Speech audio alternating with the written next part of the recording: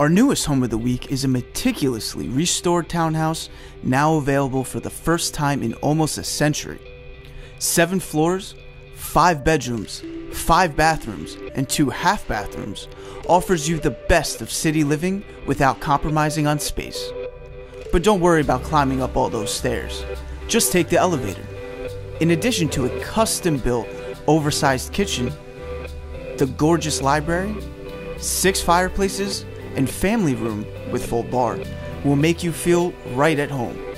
If you need some fresh air, multiple outdoor spaces lead to an oversized roof deck offering 360 degree views of Boston. Thanks for joining us for a peek inside this estate listed by Ricardo Rodriguez with Coldwell Banker Residential Brokerage in Boston.